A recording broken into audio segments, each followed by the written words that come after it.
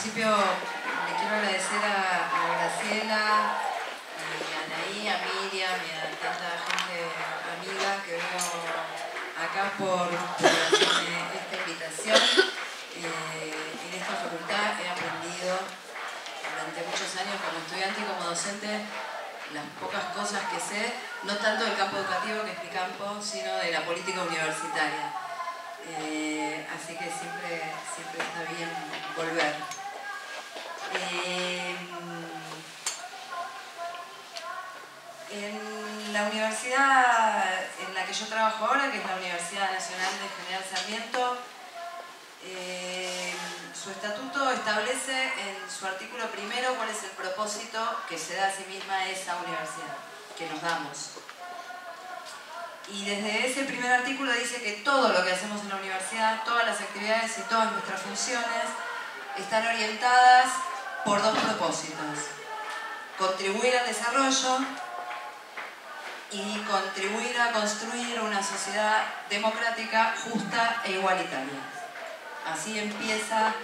el estatuto. Y me parece importante eh, que empecemos las discusiones pensando cada vez y volviendo a restituir cuál es la función social de las universidades.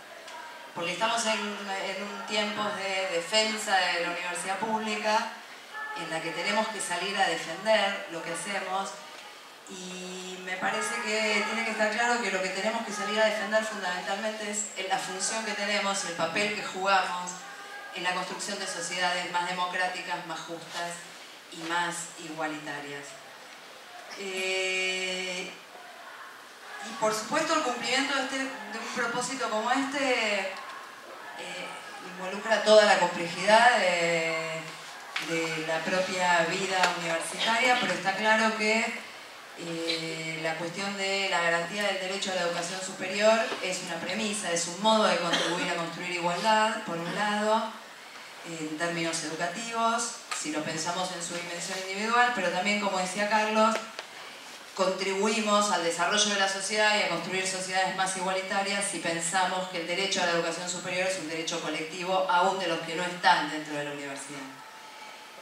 Y quiero también decir que estas dos dimensiones del derecho muchas veces colisionan entre sí y entran en tensión y que parte de lo que nos ha pasado, creo yo, en estos 10 años desde la CRES de 2008, en la que este derecho se afirma y ahora, es que no hemos analizado del todo ni sacado todas las consecuencias intelectuales y políticas que tiene el sostenimiento de un derecho como este. Y me parece que tanto más en tiempos muy críticos para el sistema universitario, los universitarios y las universitarias tenemos que ponernos a discutir lo que no hemos discutido hasta ahora, que es cuáles son todas las tensiones que están involucradas en la afirmación de este principio. Y por supuesto no es, no es este el espacio para, para desplegar todas ellas, pero hay algunas que son más o menos visibles de manera evidente. Eh, queremos universidades que garanticen de manera irrestricta el acceso a los estudios superiores de todos y todas los jóvenes que quieran hacerlo, que expresen su voluntad eh, de hacerlo, pero en general traducimos ese derecho en la Argentina en términos que yo llamaría liberales. Esto quiere decir el derecho que no puede restringirse de ninguna manera de acceder a estudios superiores termina traducido en que cada individuo decide qué estudia, dónde y cuándo. Y, por supuesto, agarrar este problema implica abrir un montón de otros problemas. Si, no quisiéramos defender y sostener y tener como bandera una versión tan brutalmente liberal de un principio como el derecho a la educación superior, que termina dando o podría terminar dando eh, dimensionamientos muy distorsivos del sistema universitario. Está claro que podríamos coincidir acá sobre que tenemos un sobredimensionamiento de algunas titulaciones, carreras, eh, dependiendo las épocas en distintas áreas, pero en todo caso, lo que sí terminaríamos teniendo o aceptaríamos tener es un sistema universitario dimensionado en sus áreas y en los profesionales que forma exclusivamente o casi exclusivamente eh, a través de voluntades y vocaciones que se manifiestan de manera individual. Y está claro que si lo hacemos así, muchas veces podemos terminar vulnerando la posibilidad de realizar el derecho colectivo, porque quizás no estamos formando los profesionales que la sociedad necesita para desarrollarse o para garantizar justicia o para garantizar igualdad. Eh, quizás no estamos distribuyendo estas titulaciones del mejor modo, quizás no estamos creando carreras que sí eh, son necesarias para ciertas formas de pensar el desarrollo, etc.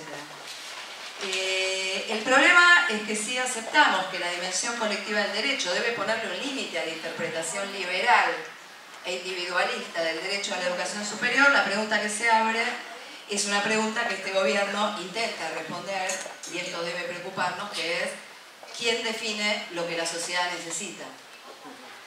Porque si el único límite a esta interpretación es dar cuenta, responder, dar respuesta, impactar sobre lo que la sociedad necesita, lo que aparece acá es quien lo define.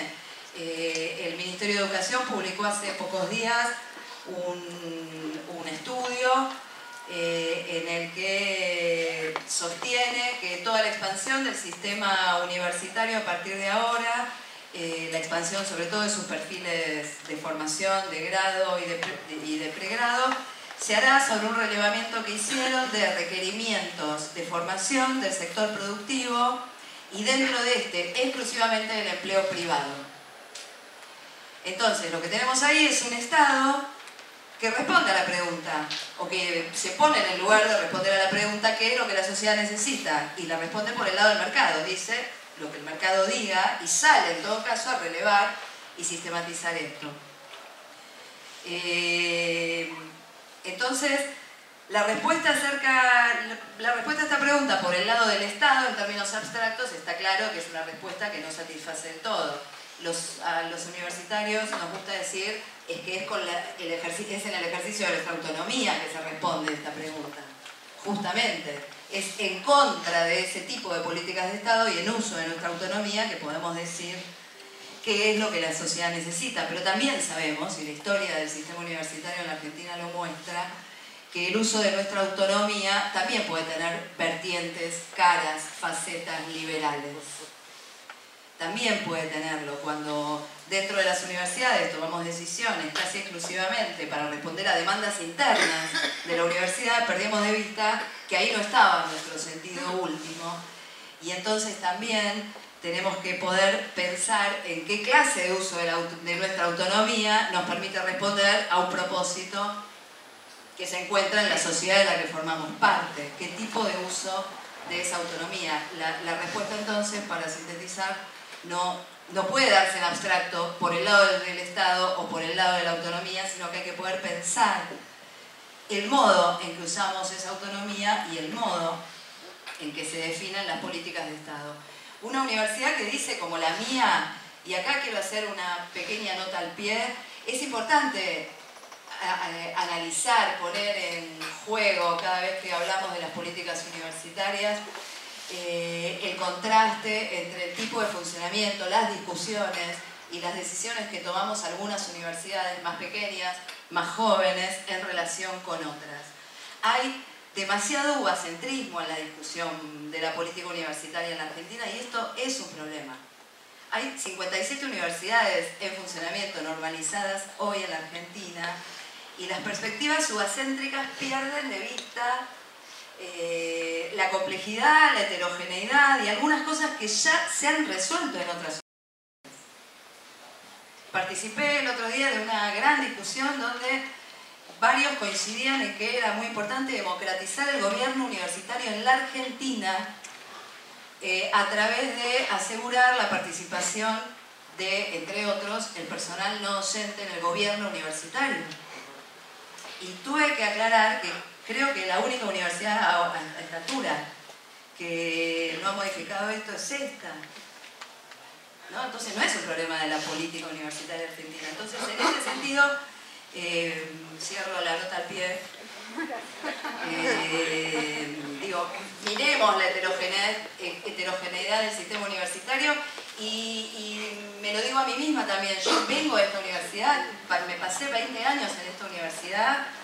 eh, en esta facultad en particular, y la verdad es que hay un mundo afuera también que se ve distinto, se ve muy distinto cuando pasás a trabajar a, otros lugares, entre, en particular cuando trabajás como yo en el segundo cordón del conurbano, no en el conurbano que está cerquita de la capital y que casi no sabes si estás en un lado o en el otro, sino en lo que algunos llaman el conurbano eh, más profundo. Pero entonces decía, una universidad que se propone eh, aportar al desarrollo, una universidad con implantación territorial, que discute lo que hace, incluso las carreras que abren con actores territoriales, con organizaciones sociales. Nosotros contamos con un consejo social integrado por asambleas populares, sindicatos, organizaciones sociales, eh, entre muchísimas otras instituciones que se creó primero para asesorar al Consejo Superior y que en este momento, luego de la última reforma del estatuto que hicimos, pone sus miembros con voz y voto en el Consejo Superior, esto es, salimos a discutir qué es lo que la sociedad necesita de los modos que encontramos, pero de todos modos, decía, nos proponemos eh, aportar al desarrollo, pero estamos transitando.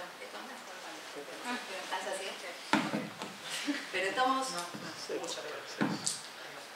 Eh, estamos transitando, decía... Bueno, ah, ahora... Eh, una coyuntura política en la que los modelos de desarrollo que sostienen las políticas económicas actuales sabe, están dando y sabemos que van a producir más desigualdad. Entonces, en ese punto, las universidades tenemos que pensar que no queremos responder a las demandas de cualquier modelo de desarrollo, porque ahí también hay un modelo de desarrollo, sino que hay coyunturas políticas en las que tenemos que funcionar a contrademanda de, esas, de esos modelos y salir a discutir esos modelos. Y eso lo hacemos en uso de nuestra autonomía, pero de una autonomía ejercida con la mirada puesta fuera de la universidad y no adentro. Eh, para terminar nada más, en contextos de crisis económica, por supuesto, pero sobre todo en contextos de desarrollo de políticas de vulneración de derechos de muchas clases, eh, el impacto sobre algunas universidades en particular es muy visible, es muy rápido y nos obliga a estas universidades a profundizar nuestras discusiones acerca de cómo garantizamos derechos y cómo garantizamos eh, igualdad dentro de las universidades. Eh, por supuesto, la gratuidad es una condición imprescindible, pero también los sostenes materiales, directos e indirectos de los estudios superiores para, para que ciertas poblaciones puedan ejercer eh, su derecho a la educación superior. Yo quería terminar nada más leyéndoles eh, un, pequeño texto, una declaración, un pronunciamiento que escribieron ayer a colación de los dichos de María Eugenia Vidal y muy rápido, una agrupación de graduados y graduadas de la Universidad de General Sarmiento. Me parece importante poner a circular también estas discusiones, eh, en estas discusiones la voz de los sujetos de los que hablamos aquellos a los que decimos que les queremos garantizar derechos son sujetos políticos que tienen voz, tanto más cuando los ejercen, y, me parece que es eh, una gran respuesta y que el mejor modo de responder la vida, más que que le respondamos nosotros, es que le respondan ellos. Solo voy a leer una, partecita. Eh, ellos, por supuesto, manifiestan su, su repudio eh, y dicen, hablan de su formación, dicen que esto no fue un cuento de hadas, sino que damos cuenta de, de sus trayectorias en términos personales, ya que siendo pobres, hijos de trabajadores, primeras generaciones de universitarios, hemos ingresado, permanecido y egresado de una universidad pública gracias a políticas de Estado que favorecieron tanto la apertura de nuevas instituciones en el conurbano como, diversas, como a diversas acciones estatales que nos acompañaron y permitieron finalizar nuestros estudios. Pero además repudiamos lo dicho por Vidal porque en esa afirmación no solo ataca a las universidades, sino también al rol transformador e inclusivo que la educación genera en cualquier persona. Una persona pobre puede llegar a escolarizarse, acceder al nivel secundario y luego al nivel superior si y solo si hay un Estado presente que implemente políticas tendientes a generar inclusión. Mientras que el gobierno de Cambiemos empecina en hacernos creer que no teníamos derechos, como graduados nos comprometemos a continuar defendiendo la universidad pública, gratuita y de calidad en la que nos formamos y donde deseamos ser, que nuevas generaciones puedan seguir haciéndolo. Es, eh, es esa, esa palabra la que las universidades pueden fortalecer, la de los que están ya fuera de las universidades, trabajando en las universidades llevando una, mirada sobre la función política de las universidades públicas. Eh, acá se dieron algunos datos, yo solo quiero agregar que eh, en los últimos 20 años aproximadamente, desde mediados de la década del 90 hasta 2014 o 15, no solo ingresaron más jóvenes a las universidades, no solo ingresaron jóvenes de menores ingresos, sino que si lo queremos medir en participación en el gasto social de la educación superior, el quintil más pobre incrementó su participación en el gasto social en la educación superior en un 80%.